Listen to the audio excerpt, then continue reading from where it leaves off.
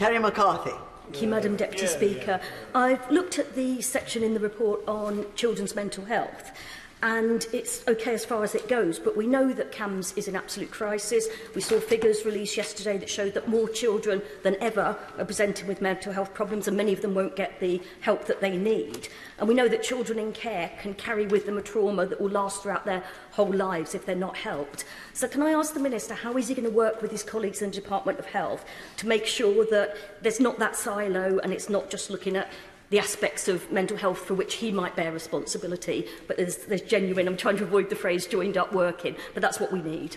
Yeah.